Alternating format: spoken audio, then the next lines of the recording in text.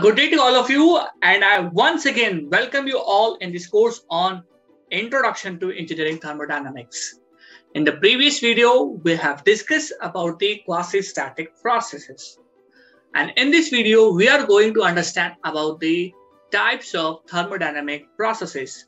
And we are going to understand isobaric, isochoric, isothermal, and adiabatic processes in this video. So let's begin and start with the isobaric process. Iso is a prefix and that is often used to designate a process for a particular property remains constant. And baric, this word is come out from the barometer which is used to measure the pressure. That means baric means pressure. So a process during which the pressure P remains constant is called as a isobaric process. Let's understand this processes with the help of the example. Here we are having a piston and cylinder arrangement. This is our cylinder. And in this cylinder, we are having a piston. So this is our piston, which is a massless, frictionless, which can reciprocate inside this piston. Let's say the initial state of this system described by the pressure P1, volume V1 and temperature T1. After a process executed, the state of the process, final state of the process can be written as volume is V2, temperature is T2 and pressure is P1. So we can see here at the initial state, the pressure is P1. At the final state, the pressure is again P1.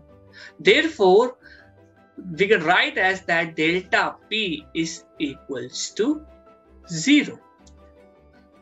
Let's understand with the help of the PV diagram.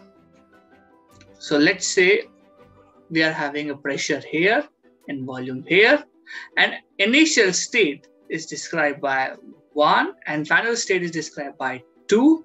So this 1 to 2 process, we call it as the isobaric processes. In practical practical life or day to day to day life, we often see the uh, various isobaric processes, such as we are having a container. In that container, you are having a water and you are giving heat to this water. As you give heat to this water, this water will be converted into vapor. And as the vapor eh, is a steam, so the whole process is getting taking place from liquid to vapor is at the atmospheric pressure, which is a 1 atm. So the process in which liquid transform to the vapor is a constant pressure process or the isobaric process. Similarly, if you freeze the water into ice, that is again a constant pressure process. Let's understand more in the context of the ideal gas equations. So we know that the ideal gas equation is written as PV is equals to mRT, where m is mass, R is your gas constant. And here we are having the P is constant. So we can write here is that P divided by MR is equal to the T by V. Therefore, this term is your constant and C is equals to T by V. So we can write here is that V is directly proportional to the temperature, which is nothing but a Charles law. So I hope that you have understood about the isobaric process. Let's understand about the isochoric process. Again, iso is a prefix and choric means volume. And a process during which the volume V remains constant, that process is known as the isochoric process. Again, let's take an example of the piston and cylinder arrangement. At initial state, the pressure written as the P1, volume is V1, and temperature is T1. And after a process is executed, a final state is achieved by a system, and the final state can be described as the pressure is P2, volume is V1, and temperature is T2.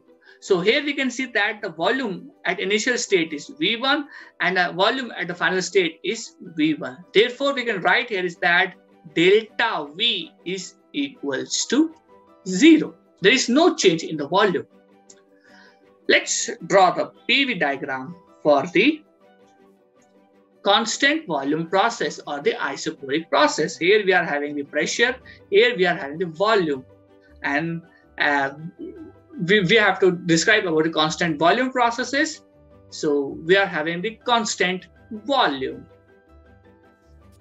So this is the one state and this is your final state. So throughout we are having the constant volume. In day-to-day -day life, we we also see the many various applications related to the uh, constant volume process, such as if you are cooking something into a pressure cooker.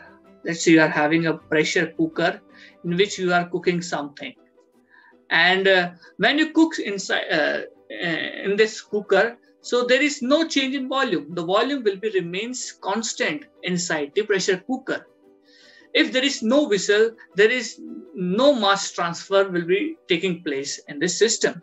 So if uh, a vessel is absent, there is no valve there, so we can consider this as approximately as a constant volume process. And in the Otto cycle, the heat addition and the heat rejection process are also takes place at the constant volume processes.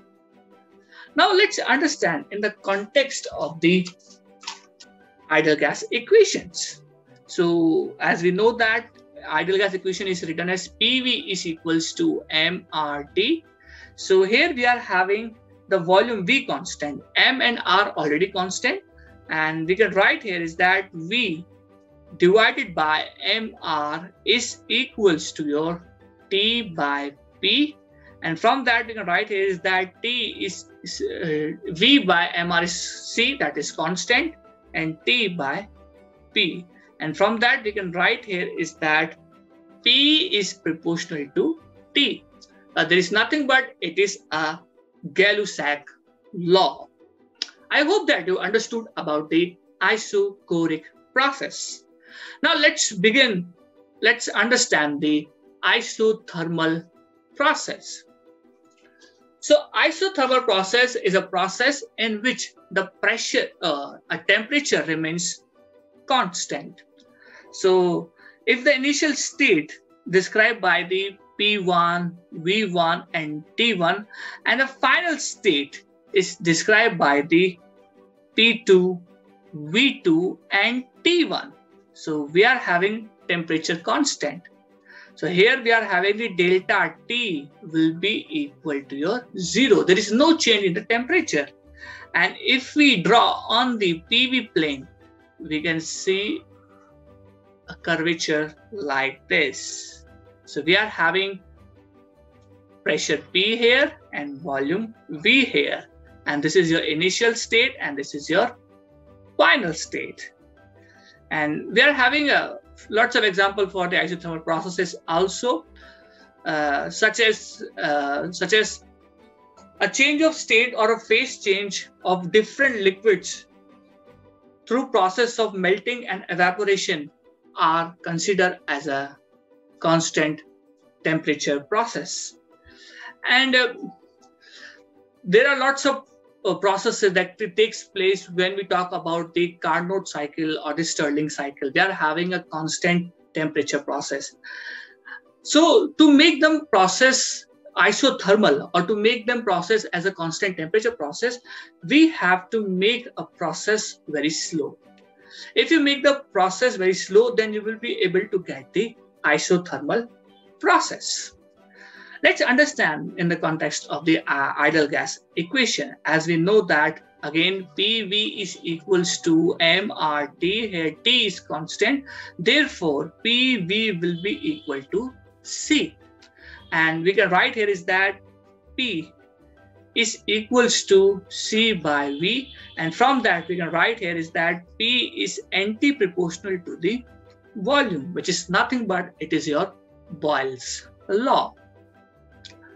I hope that you understood about the constant temperature process. Now let's understand about the adiabatic process. Uh, adiabatic, an adiabatic process is one in which no heat is gained or lost by the system. Uh, a, an isolated system is a good option for the adiabatic process.